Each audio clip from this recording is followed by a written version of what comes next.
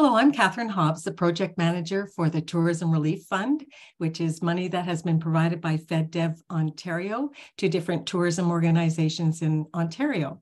And so today I'm here talking to Natalie Wollenburg of the Jackson Falls Country Inn. And uh, welcome, Natalie. And if you could just tell us a little bit about yourself and what you do. Uh, thanks, Catherine. Well, I'm I'm Natalie Wollenburg. Uh, my husband and I own the Jackson Falls Country Inn, uh, which is located in Milford and Prince Edward County. Um, currently, I am the innkeeper, and I think sometimes it's hard when you're when you're a small business. You you actually have a lot of jobs and a lot of hats. Um, and so we basically we took this over, or we bought it in 2020. Um, and it was a very big renovation project. Um, so we had to renovate all the rooms. Uh, and then we're into our nearly our third year, our third season of operating. And we were lucky enough to connect with Catherine and the FedDev Fund.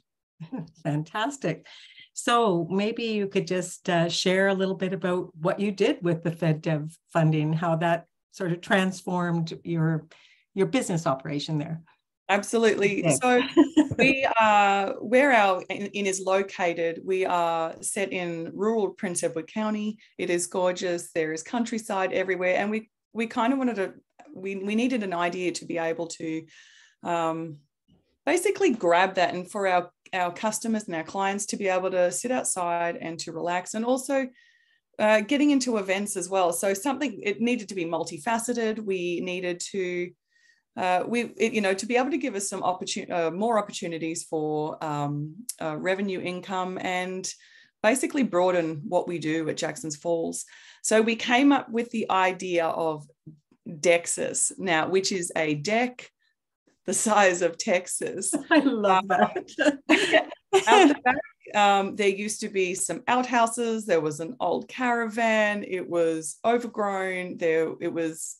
So we started the process probably around April. And then we finally came up with the idea that, you know, people really want to just sit and take take this in, take this view in.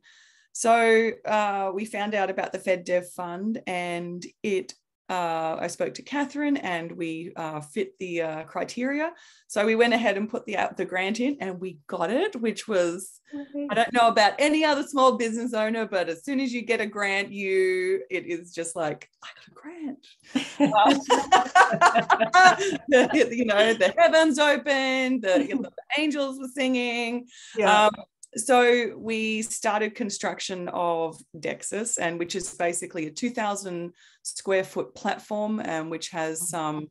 Uh, it's got some ability to have coverage with Toyo, the Toyo grid system, and also planter boxes, which is around. Oh, um, oh, lovely. Yeah. it and it was such a we only finished it we started it in probably june and we finished it in just december still as the snow was flying we were lucky to have some phenomenal carpenters, uh, Mifflin and Salins, uh, and they really helped us uh, guide uh, the project and also keep us under budget as well. They were they were incredible. Uh, but as soon as it was as soon as it's done, it's just uh, it's probably my most it's my favorite part of this summer coming up is being able to have these events outside for our customers to be able to relax out there and just you know listen to nothing. Like the the insects yeah. might be that it might be going off and the birds will be chirping and re- relaxation. Yeah wonderful. It does take a little while to build something the size of texas so I can see why it took so long. uh, and the fun thing was that we already had an event out there just when just the platform was there. Uh, we had Comedy Country come and do a improv comedy show out there and people like we had the performance on the actual deck and everyone bought their lawn chairs and surrounded and had charcuterie and their wine and it was gorgeous. Oh fantastic. And so um and so what do you foresee do, doing with dexus uh, what what would you like to have happen there? Uh, so hopefully this season we're looking at doing a three part concert series uh, with a local quartet uh, and just bringing, you know, just being outside and people being able to enjoy uh, chamber music. And uh, hope we're going to be working with Comedy Country again. And also, we've got uh, customers who are coming to do private events there with either whether they're just a birthday celebration or a wedding or whatever. This is meant to be a multifaceted area. But all in all, it's just a gorgeous place to be. It is, yeah. So, um, and just a little bit about the inn itself. So you have a, a number of rooms in there that people could stay in if they Absolutely. We are a nine suite inn. So generally our capacity is 20 to 22. Uh, wow. We have a private dining. Uh, we have a dining room because uh, we serve brunch every single weekend now. We have a um, a new chef and innkeeper wow. who is just coming on board with us this year, Chef Chris Wiley, and his bacon is ridiculous. People come from miles around for this stuff. It is addictive. Uh, and so we've got we can take uh, very like large groups or we can do a lot of uh, small corporate um, retreats. We actually had a knitting retreat knitting retreat at the end of this month and we oh. had a yarn spinning retreat at the end of last month. So oh, we are everything crafty. Uh, and uh, we also have um, a local yoga instructor who does meditation and reiki and she takes large groups as well. So if we we have people booking corporate retreats they de- generally uh, uh, get lisa marie to be able to do the yoga for them as well. So we've got a lot of con- uh, connections in the community to be able to bring a true county experience to them.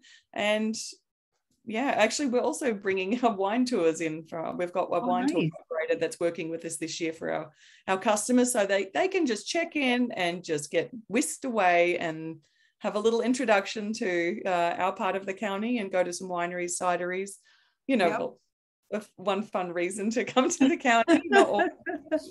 um, yeah, oh, so we've got a lot of things in the in on the go this year. Works. Yeah, well, it sounds just fantastic. I'm going to have to mark down my calendar for this summer.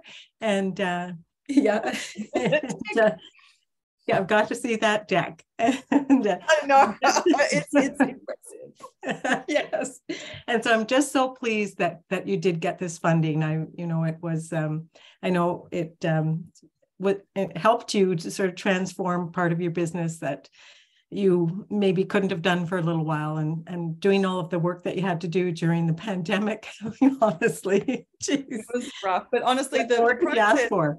the process was actually you made the the process very very easy uh, writing a grant is, is something that does not come naturally to me because yeah. I, I sometimes it's hard to find the words and you you know it looks like when you look at a grant application sometimes it looks like a mountain and you made yeah. it a molehill for me. So, oh, so much. And being able to deal with RTO 9 has been, you know, it's made that process a lot easier. And uh, I don't look at it and run away as much as I used to. We're just so proud of, of everyone that's in our region, Southeastern Ontario. It's a beautiful, beautiful region, especially where you are in Milford and around the Picton area. It's just a gorgeous place to be all year round. But uh, anyway, I'm just so happy for you. And thank you so much for doing this today, Natalie. Thanks, Catherine. Thanks very much.